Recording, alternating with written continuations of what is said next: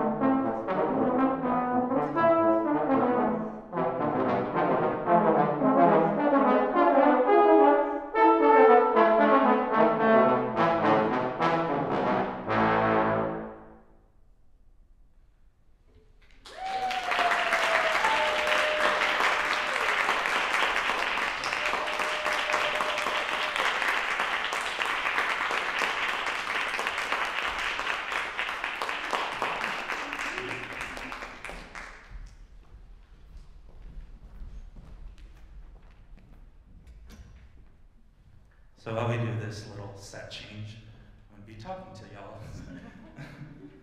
Just again, thank you so much for coming here and being here in person. It's awesome seeing such a lovely audience. Um, as we transition to this next bit, I just want to say a few thank yous to many people that made this possible. First and foremost, Dr. David Christel, which is in the audience right now. Just thank you for everything that you taught me. Um, he's taught me to, he, he's pushed me farther than I thought I would ever go, and I can't thank you enough for doing that to me and for me. I'd also like to thank the people that you're about to see right now, the Trombone Studio. Um, like I said, I'm a music education major. That entitles, entitles some conducting. And I really wanted to conduct a piece. And not just that, I just, I like being very different about programs that I choose. So the pieces that you're about to hear, the first one is actually kind of a premiere. A good friend of mine from back at home named Chris Neiman agreed to arrange a piece for me. That was uh, from the sh- TV show The Mandalorian. Wonder if any of you have heard of it. and uh, as we were preparing this piece, I just, well, the first time I heard it was actually watching the show. And I remember it was one of the very few times that a composer has touched me during performance or during a TV show where I just stopped watching the TV show and was just engulfed by this music. And I listened to it so much that it became my number one song on my Spotify wrap. so I really wanted to perform it. And when we started rehearsing and everything, I asked, uh, okay, who has seen this? And many people did raise their hands, but a few people didn't. So that became a little bit of a challenge. How do I teach you what this piece means without literally spoiling the whole show? so that became a, an issue, and it really helped me in my teaching philosophies and everything, just kind of come up with little ways to get them to understand the music. So it became this dance between two souls that are together and know that their time together is almost ending, so they're about to be let go, and that's. And uh, I just want to say thank you to the Trombone Studio. Um, I've been the quote unquote section leader for the last two years. Last year was kind of interesting because it was online, but um, you know I would do things beyond just saying, "Hey, just be here for rehearsal." I would just want to befriend them, get to know them, because I just I believe that rather than being individuals that happen to play trombone, we could be friends that could play the trombone to sound and make it sound like one individual. So, without further ado, I'd like to invite the trombone studio out here, and I hope.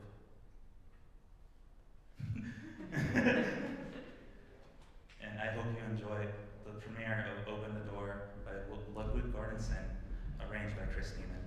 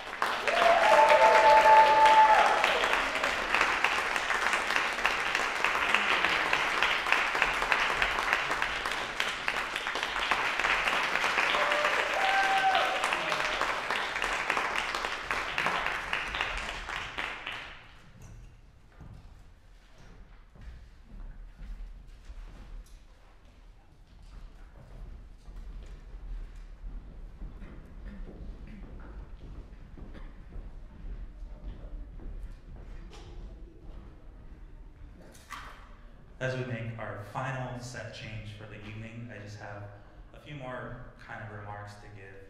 Um, I just have a few thank yous and then one kind of explanation. Everyone's thinking about this. Miguel, why is your recital at 8.30 p.m. on a Monday night? We have class tomorrow. and that kind of stems from, um, I'm originally from San Jose, California. Yeah. San Jose.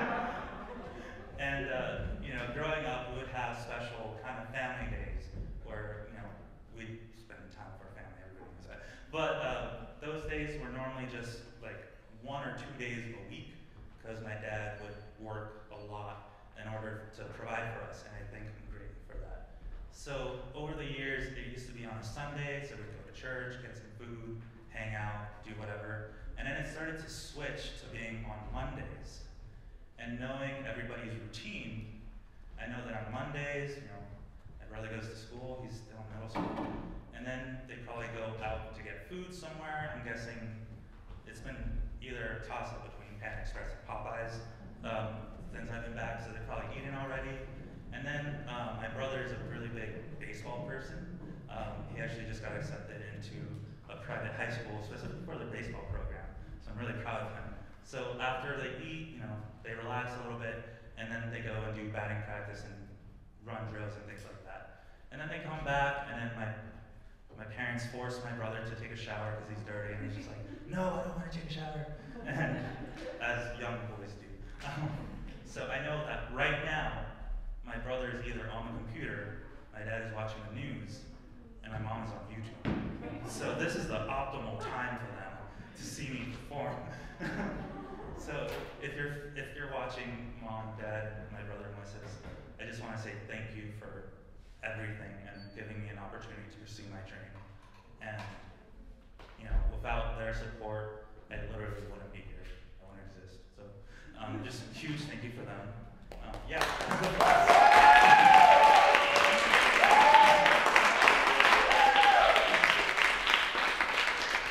And I have another few thank yous. Um, first is um, I'd like to thank Serena McKibben and also congratulate her for presenting her thesis today. So thank you for being a part of my life and being here for me and all your support. Just thank you. And I'd also like to thank Silvio. Uh, he is my best friend since the third grade. We go back a long time. And he drove all the way up from San Jose to be here. So I want to thank you for making that drive. He already came up because he's in an Oregon symphony, but you know, it's still a long drive. So just thank you for being here. And you know, lastly, I just want to thank all of you for coming and being a part of this. I know um, it's hard to support the arts in a sense, but I, I feel like there's this gratification now since things are opening back up that there is really a drive to support live performances. So again, just from the bottom of my heart, thank you for choosing to be here, and thank you for everybody watching on the stream as well. Um, this last shout out um, is for a good friend of mine, and um, he's been here since I've been here, and we grew like we went through this process together in the trombone section. And this year he's taking a, sem- a semester of leave, so I just want to say like Sawyer Huss, thank you, and I miss you, and I hope you're doing well. So um, I think we're all set up. So uh, get ready for this last piece entitled Spring Yard you. Thank you.